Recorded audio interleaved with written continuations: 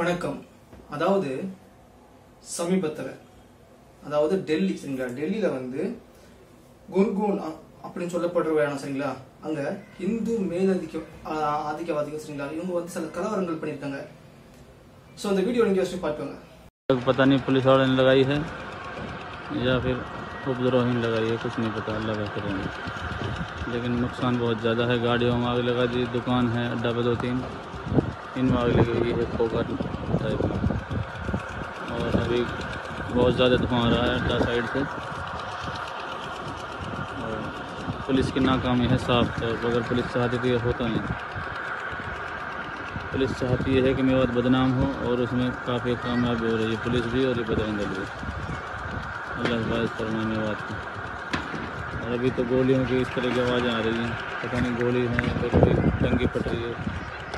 ચાલો ચાલો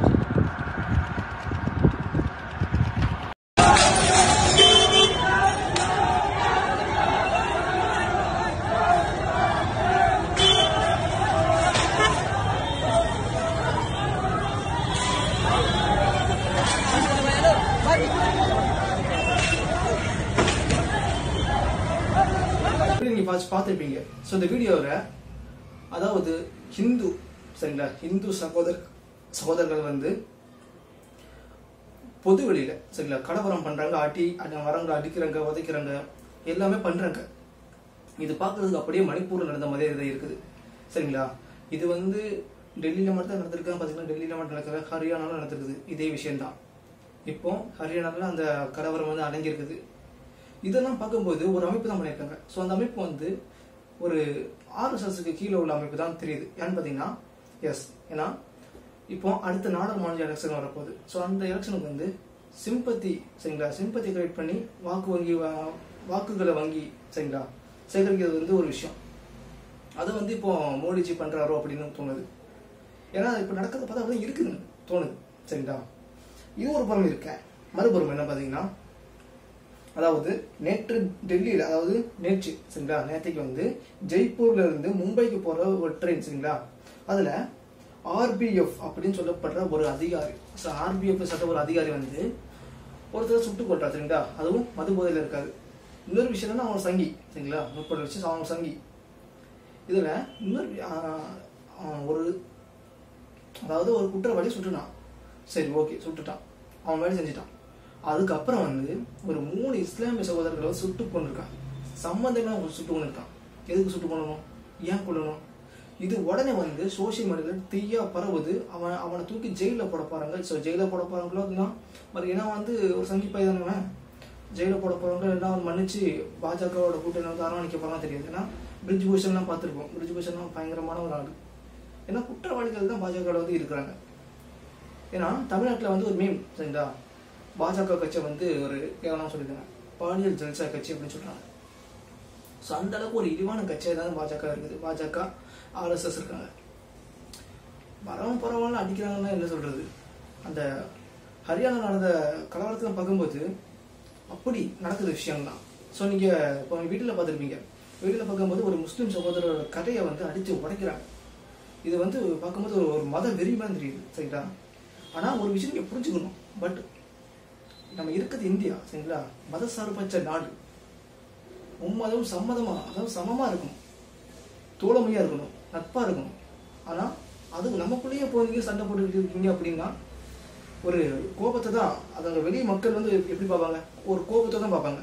அவங்களோட ஆத்திரம் இவங்க இவங்க இப்படி பண்ணுறாங்களே இவங்களுக்கு பின்னாடி யார் இப்படி பண்ணுறா அப்படி பார்த்தீங்கன்னா கண்டிப்பாக ஒரு பொலிட்டிஷியன் மட்டும் தான் இருப்பான்.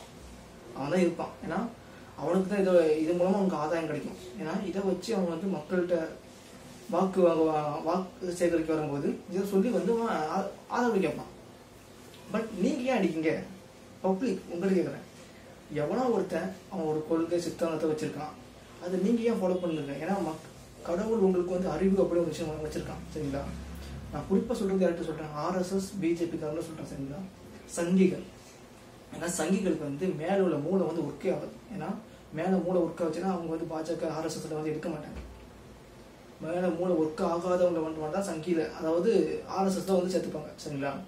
அவங்க அதாவது ஆர்எஸ்எஸ்காரங்க வந்து ரெண்டு விஷயத்தை மட்டும்தான் வாய் திறப்பாங்க. ஒன்று வந்து சாப்பிட இன்னொன்று போய் சொல்கிறதுக்காக மட்டும்தான். வேற ஒருக்கும் கிடையாது. இப்படி ஒரு விஷயம் நடந்துகிட்டு இப்போ இருந்தாலும் டிகே சிவகுமார் சரிங்களா டிகே சிவகுமார் மேலே வந்து ஆர்எஸ்எஸ் பாஜக வந்து கேஸ்லாம் போட்டாங்க. சொத்து குவிப்பு மேலே சமீபத்தில் நடந்தது. பட் ஆனால் ஆர்எஸ்எஸ்காரங்களுக்கு வந்து செருப்படி கொடுத்தாரு டிகே சிவகுமார். ஏன்னு பார்த்தீங்கன்னா உச்சநீதிமன்றம் வந்து சொல்லிட்டாங்க டிகே சிவகுமார் மேலே இது எந்த கேஸும் போடுவா தடை போட்டாங்க. இது குஜராத் நீதிமன்றம் போட்டிருக்காங்க. அண்ட் அது மட்டும் இல்லை ஃபைனலாக உச்ச டி டிகே சிவகுமார் மேலே கேஸ் போட்டால் தடை விதிக்கணும் அப்படின்னு போட்டிருக்காங்க. ஸோ இது வந்து பிஜேபி ஆர்எஸ்எஸ்காரங்களுக்கு வந்து ஒரு செருப்பாக அடிச்ச மாதிரி கிடைக்குது சரிங்களா? ஸோ எல்லாம் கெட்டது பண்ணிட்டு இருந்ததுன்னா நல்லது எப்போ நடக்கும்? அதான் நடந்தது. டிகே சிவகுமார் ஒன்று அவருக்கும் நடந்தது.